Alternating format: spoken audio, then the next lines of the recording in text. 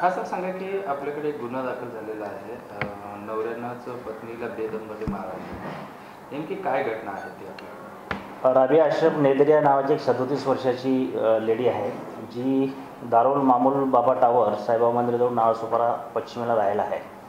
तिचा नवरा रिक्षा चालवतो आणि चार तारखेला तिचा नवरा म्हटलं की आपल्याला मुंबईला चौपाटीवर फिरायला जायचं आहे.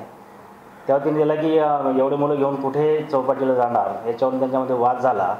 आणि नवऱ्याने तिला ती झोपलेली असताना गोष्टीचा राग घेऊन तिच्या तोंडावरती डोळ्याजवळ आणि लाकडी धोपटण्याने दुखापत केलेली आहे. या दुखापत केल्यानंतर हा तिचा नवरा दुखापत करून पळून गेलेला आहे. त्याचा गुन्हा दाखल करण्यात आलेला आहे. तीनशे पंचवीस आय पी सीप्रमाणे त्याच्यावरती फिर्याद दाखल करून त्याचा शोध घेण्यात आलेला आहे. अधिकारी तपास अधिकारी मालाड चिंचवणी वगैरे भागात कुरार व्हेजमध्ये त्याचा शोध घेण्यासाठी दोन तीन वेळा जाऊन आले अद्यापर्यंत तो मिळून आलेला नाही.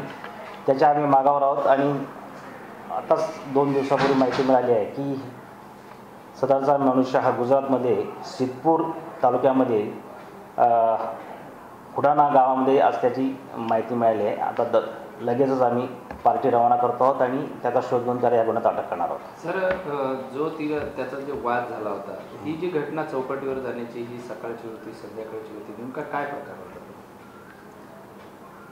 ही सकाळच्या वेळी ही घटना झालेली आहे आणि त्याने नवऱ्याने तिच्या बायकोला सांगितल्यानंतर तिने नकार दिल्यानंतर हा प्रकार घडलेला आहे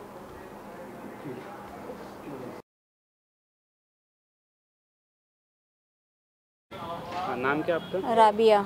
राबे जी क्या हुआ था? मैं रात को मेरा पति ढाई बजे आया। मैंने उसको रोटी वोटी बना के दिया उसने खाना वाना खाया चाय वाय पिया।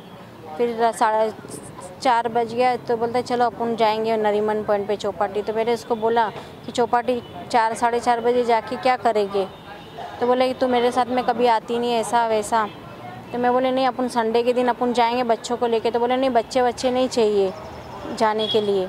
मैं अपन दोनों जाएँगे। मैं ठीक है अपन दोनों जाएँगे। तो सुबह में मैं सोई भी थी सोई थी तो इसने मेरे को है ना सीधा मेरे को बेड ऊपर से निकाला माले पे से और सीधा मारने लग गया। कहाँ काम हो रहा अब मेरे को सर पहला मेरे को सर पे मारा तो मेरे सर पे मारा तो यहाँ का मेरा सर फट गया। फिर मेरे को यहाँ मारा आँख पे मारा मेरा यहाँ मारा पूरा चेहरा मेरा फ्रैक्चर हो गया। तो उसके बाद आपको हॉस्पिटल में कौन हॉस्पिटल में मेरी मम्मी पापा मेरे बच्चे रो रो के मेरे मम्मी पापा के पास गए। बोले, देखो मेरी मम्मी को क्या हो गया? तो मेरी मम्मी पापा भाग कर आए। तो घबरा घबरा था, बहुत काँप रहा था, बोलता, नहीं नहीं, ये अपने आप को मारी है बोले, मैंने इसको नहीं मारा है, बोले। और ये कोई है ना, वो मौलानाओं के चक्कर में रोज़ मेरे को बोलता है कि, पानी पी, ये मिठाई खा, ये ये फ्रूट ले, तेरे को पतरी का दर्द है, ये कोई मौलाना के चक्कर में ये लग गए ले। इसका पानी पड़ा के लाया उसका पानी मैं नहीं पीती थी तो उसने उसका ठसन शायद निकाला है। हाँ तो तो अभी तक कार्रवाई हुई है क्या कुछ आज पुलिस मैंने पुलिस में दो अपने अप्रैल में मैंने एफ़ आर दर्ज करवाई 2000 अरे सॉरी अप्रैल में चार तारीख को मैंने एफ़ आर आई दर्ज करा अभी तक पुलिस लोग ने कोई एक्शन नहीं लिया ना उसको अरेस्ट किए क्या कुछ आपकी मांग? मेरी मांग मेरे पाँच बच्चे हैं। यानी क्या चाहते हैं आप अभी? मुझे मेरे बच्चों का तो खर्चा उसको देना ही होगा। पुलिस से क्या कुछ चाहते हैं? पुलिस से उसको अंदर अरेस्ट करके उसके पूछना है कि इसने मुझे मारा क्यों है।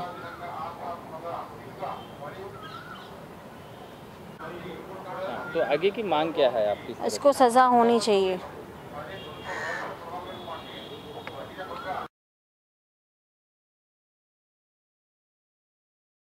जी आपका नाम? रीटा सरवैया नगरसेविका वॉर्ड नंबर सोळा अ, तुम्ही इथे आलेलं आहे काय एकूणच कशासाठी आलेलं आहे काय तुम्ही मागणी? माझ्याकडे एक बाई आली होती रु रबिया त्याचं नाव आहे. ती सोपारावरून माझ्याकडे आली आणि मला सांगितलं की असं असं मी सोपाराला राहते. आणि माझ्या नवऱ्याने मला चार एप्रिलला मारहाण केली आहे आणि त्यांनी मला फोटो वोटो वगैरे सेंड केला.